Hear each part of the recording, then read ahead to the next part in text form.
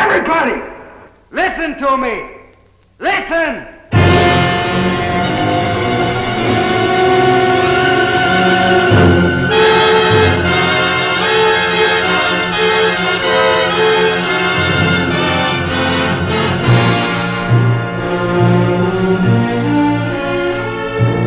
Beneath this sinister mountain, a man is buried alive, trapped by a cave in.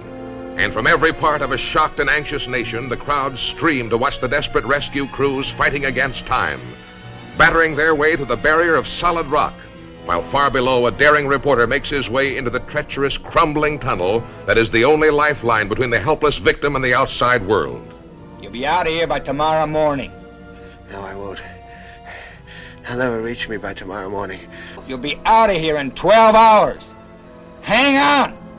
Kirk Douglas has his greatest role as the reporter who would do anything for a story.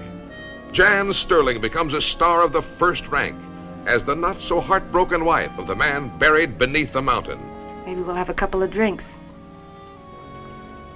Maybe you'll even take me out for a big evening, huh? Why don't you wash that platinum out of your hair? Phony, below the belt journalism, that's what it is. Not below the belt, right in the gut, Mr. Boot.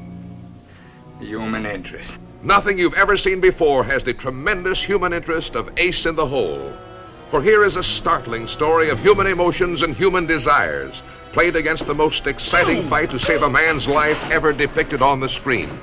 Now, when Smollett comes, you can give him your orders. Tell him to go in through the cliff dwelling, shore it up, and get him out fast. Not through the cliff dwelling. You can't get him out that way anymore. Thank you.